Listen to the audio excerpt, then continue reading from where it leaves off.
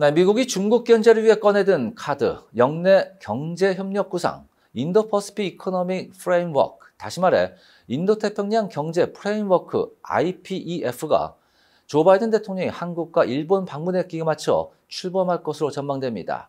이 IPEF의 그 핵심 내용과 또 목표는 무엇이고 과연 미국의 대중국 정책에서 어떤 의미를 갖는지 등을 정리해 봅니다. 네, 일단 인도 태평양 경제 프레임워크란 지난해 10월 조 바이든 대통령이 동아시아 정상회의에서 인도 태평양 영내에서 디지털과 공급망 그리고 청정 에너지 등 새로운 통상 의제를 다룰 포괄적인 경제 협력체의 필요성을 언급하면서 처음 알려졌습니다.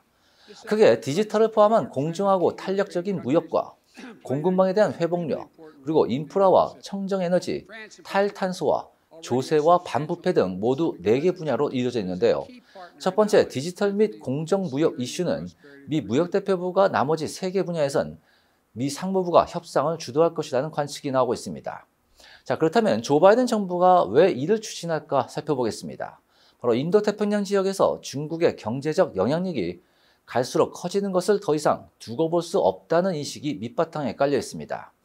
그렇습니다. 미국은 지난 2017년 1월 도널드 트럼프 행정부 당시 환태평양 경제 동반자 협정인 TPP에서 탈퇴했고 그 이후 일본 주도로 포괄적 점진적 환태평양 경제 동반자 협정인 CPTPP에서도 빠진 상태입니다.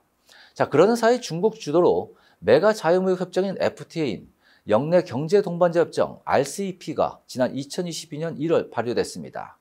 자, 이에 따라 미국 입장에선 영내 경제 리더십을 회복하고 다시금 디지털 경제 등 중국과의 패권 경쟁이 치열한 분야에서 중국을 압박할 새로운 규범을 만들 필요성이 커진 것입니다.